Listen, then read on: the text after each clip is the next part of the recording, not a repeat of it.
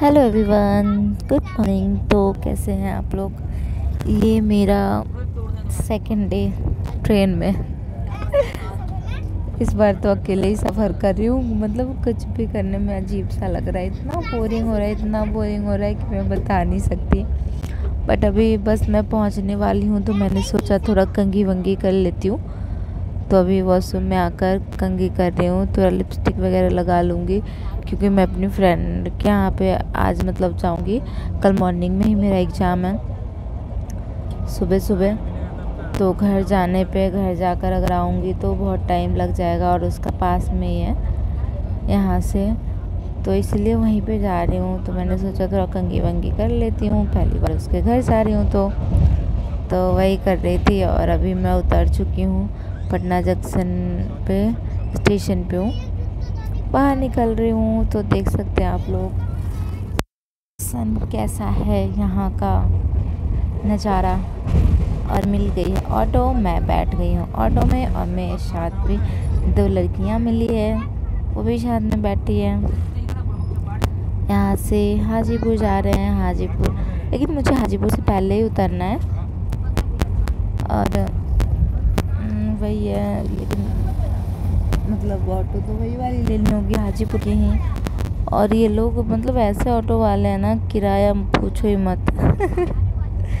मैं पहले आई थी उस टाइम पता नहीं मुझे लग रहा है चालीस रुपये आई थिंक था। अभी सत्तर रुपये किराया बताया। और ऊपर से ये भी नहीं कि मैं जरुआ उतर रही हूँ तो कम ले। हाजीपुर उतरो या जरुआ उतरो सेम ही है। और ये बस पुल पर पहुँचने वाली हूँ। वैसे अब तो टाइम नहीं लगता ज़्यादा। अब पुल बन गया है। तो दो तो पुल हो गया पटना जाने के लिए। ये दीघा वाला पुल से ले जा रहे हैं नए वाले पुल से। देख सकते हो कितना अच्छा व्यू है। ये तो बहुत मतलब अच्छा लग रहा था। और ये जो साथ में मिली है ये भी इत्तेफाक से फरीदाबाद की ही है। और हमारे साथ की मतलब हमारे साथ वो भी हा, हाजीपुर तक गई। मैंने मतलब पूछती रही कि कौन से ट्रेन में आई है, कहाँ से है। वैसे ही बोली अच्छा आप भी फरीदाबाद से हो, मैं भी फरीदाबाद से हूँ। फिर मैंने पूछा कि, फरीदाबाद में कहाँ? तो बिल्कुल मतलब पास की ही है, लेकिन हम जानते नहीं थे एक दूसरे को पहले से बट अभी जाना है। बाय बाय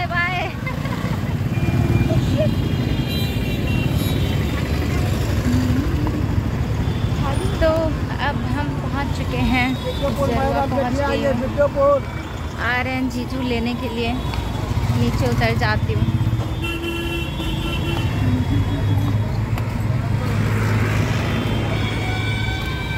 क्योंकि मुझे तो पता नहीं है किधर से कैसे जाना है।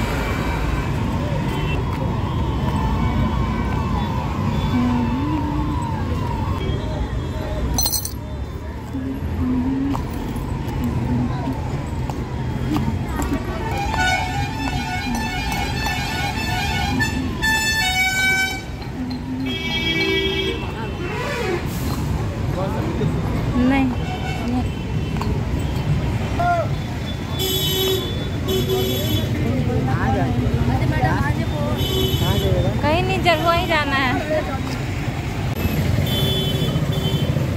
कितना टाइम लग गया? अच्छा ठीक एंड ये मैं बैठ चुकी हूँ बाइक पे और बस निकल पड़े हैं। अपनी फ्रेंड के यहाँ जाने के लिए। ये देखो गाँव का नज़ारा। व्यू वैसे ये गाँव है नहीं सिटी है बट फिर भी मतलब दिल्ली से तो अलग है।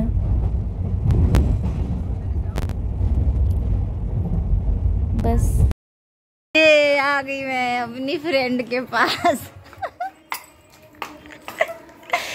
लड़की को पूछो मत इतनी हंस रही थी इतना हंस रही थी और मेरा हँसते हँसते पेट में दर्द करवा दी थी। बोल रही थी नहीं बल तू इसको बंद करो तब मैं आई आऊँगी। और बार बार भाग जा रही थी कैमरे के पास से। फिर भी मैं तो अपनी आदतों से बाज नहीं आती मैं बोले तो तुमको लाऊँगी इसमें और तुम्हारा डालूँगी मैं। फिर शाम को वैसे मतलब वही तीन, ढाई तीन बजे तक आई थिंक मैं उसके यहाँ पहुँची थी। फिर शाम को एक एनिवर्सरी पार्टी थी तो जिद करने लगी कि चलो, तुम भी चलो। फिर कल चली जाओगी और कहोगी कि कहीं घुमाई भी नहीं। तो कम से कम पार्टी में तो चलो, घूम लो। देखो यहाँ का पार्टी ये वो तो फिर मैं बोली कि चलो, ठीक है। वैसे कल मेरा एग्ज़ाम था, नहीं जाना चाहिए था। लेकिन फिर भी बोली कि माइंड रिलैक्स रखो, जितना टेंशन लोगी उतना बेकार होगा। एग्ज़ाम में सब भूल जाओगी। जितना मतलब आज पढ़ के कुछ नहीं होता। मैं बोली, ठीक है, चलो। तो ज़्यादा देर का था नहीं तो चले गए थे। फिर ये पहुँच गई होटल। मतलब रेस्टोरेंट था, लक्ष्मी विलास रेस्टोरेंट। और अच्छा लगा मतलब यहाँ बस ये डेकोरेशन है। रेस्टोरेंट है, फैमिली रेस्टोरेंट। और ये सभी लोग बैठे हैं, ज़्यादा लोग थे नहीं, बस मतलब तीन फैमिली थे। जिनकी एनिवर्सरी है, उनकी फैमिली एक उनके ही मतलब फ्रेंड की फैमिली और एक हम लोग तीन लोग, बस इतने ही लोग में पार्टी हो रही थी। इसके साथ जब भी कैमरा करती थी, ये वैसे गुस्सा होती थी, बोलती थी, बंद करो बंद करो। और मुझे इसको चिराने में बहुत मज़ा आ रहा था। बहुत दिन पे हम लोग वैसे मिले थे। और ये मैं कोक पी रही हूँ। अच्छा लगा वैसे। हमें कुछ बातें भी हो रही है। सभी लोग बैठे हैं, फिर हमें कुछ स्टार्टर मिला। ये मशरूम का है। पहली बार मैं खाई थी बट बहुत अच्छा लगा। और इसके बाद हमें मिला, क्या मिला था? हाँ पनीर मलाई टिक्का। ये पनीर मलाई टिक्का। ये भी टेस्टी था बट स्पाइसी बिल्कुल नहीं था। ऐसा लग रहा था कि बच्चों के खाने वाला बट वो मशरूम वाला तो बड़ा टेस्टी मज़ा आ गया खा के। ये भी अच्छा लगा। ये बस यही था कि स्पाइसी नहीं था, बाकी इसका भी टेस्ट ऑसम था। एंड पता केक बहुत टाइम से रखा हुआ था, और ये लोग कट करने के लिए नहीं जा रहे थे। ये लोग बहुत शर्मा रहे थे। इनकी फ़र्स्ट एनिवर्सरी है तो पता नहीं क्यों शर्मा रहे थे, बोल रहे थे केक भी कटिंग करना है। ये है ना, बच्चे लोग बच्चे लोग केक कटिंग कर लेंगे। बहुत ही ज़्यादा शर्मा रहे थे। फिर सबने बोला, जल्दी जाइए जल्दी जाइए जल्दी जाइए। तब जाकर उठे और गए केक कट करने के लिए।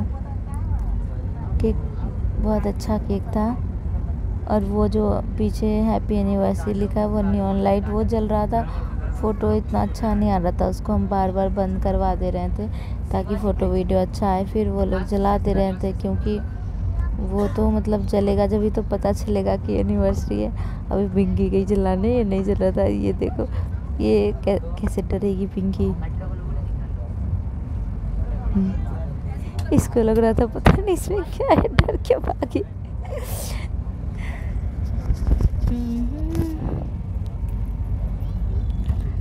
और हमने बहुत मज़े किए।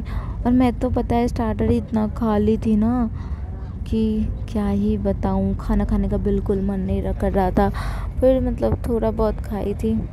ये केक कट हो गया, हैप्पी एनिवर्सरी।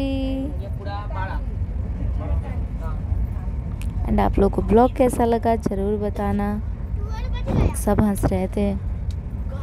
मतलब वो लोग कोई ब्लॉगिंग करने वाले वगैरह नहीं थे ना, इस वजह से सबको हँसी आ रही थी। मैं जब जो व्लॉग पे लोग को ले रही थी बट मुझे तो मज़ा आ रहा था व्लॉगिंग करने में। ये देखो इतने लोग सभी आए थे। हम्म। सभी लोगों ने बस केक वेक खिलाया फ़ोटो क्लिक करवाया और फिर ये पिंकी के हस्बैंड